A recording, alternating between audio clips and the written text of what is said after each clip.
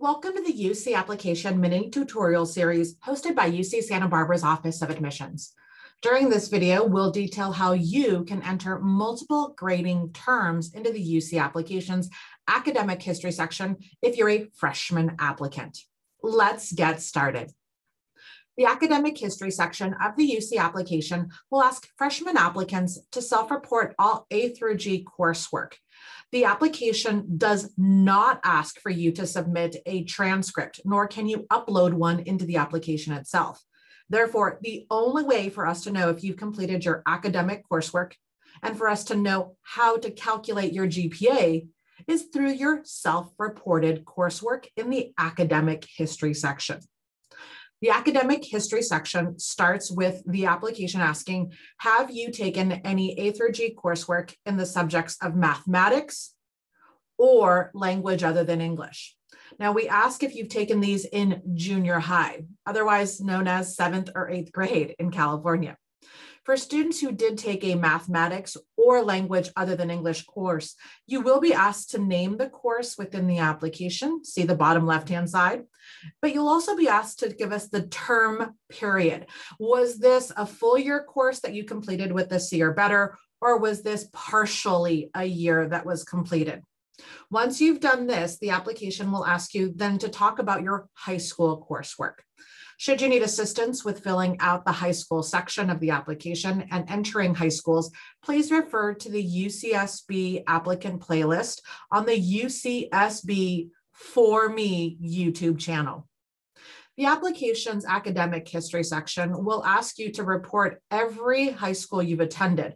And high school by high school, we'll be asking about the grading system, your grade type, in other words. So, did you earn zero to 100 uh, on your class scale? Were you in the International Baccalaureate program and you earned a one through seven? Were you on an ABCDF scale? Now, we do want to remind students the University of California does not consider plus or minuses within the ABCDF scale for freshman admissions. So you won't see an A plus or an A minus visible. Now, if you don't see your grade term, you can enter other within the application. After you've told us the type of grades we'll see, we now want to know the number of grades that will be reflected per class. This is your school term type. The application asks you, did you earn one final grade per year per class? That would be full. Did you earn two grades? That would be semester. Now, students are able to say, hey, I'm on a block schedule or I'm on a four by four. That means that you're earning two grades per year per class, regardless of the time frame in which it took to earn those grades. Three grades per year, you're on trimester, four grades per year. Again, final grades per year, you're on quarter. For those students who have multiple grade types that are on your transcript, you can click more than one button. So I can click full, semester, and trimester if that's what my school transcript reflects. Maybe my school changed its grading system from one year to the next, or it's possible that your high school has certain classes on semester, but other classes on trimester. If that's the case, select more than one.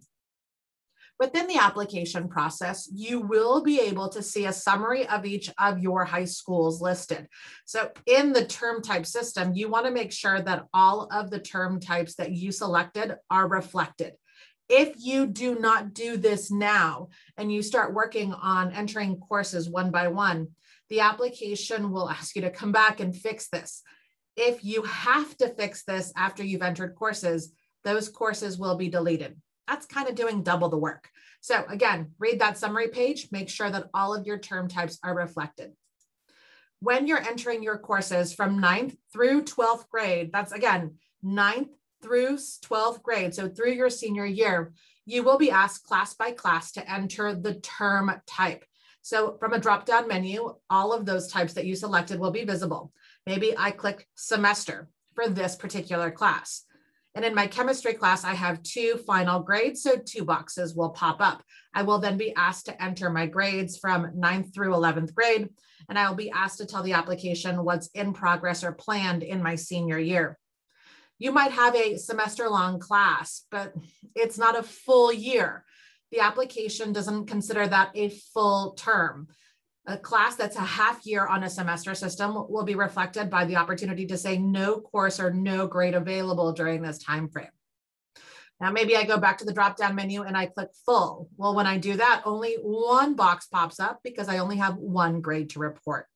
You'll continue this particular process throughout each class that you're reporting in the academic history section. At the end of each academic year, you'll be able to see a summary page. So this is my sophomore year. English 10 was on full because there's only one final grade, but my history class was on semester.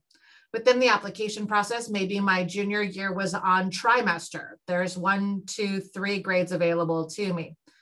If you're confused at all, please contact your counselor or the Office of Admissions. We're happy to navigate and help you read your transcript.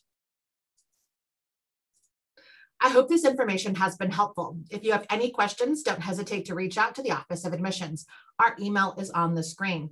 You'll find additional tutorials about the application on our YouTube channel, UCSB for me.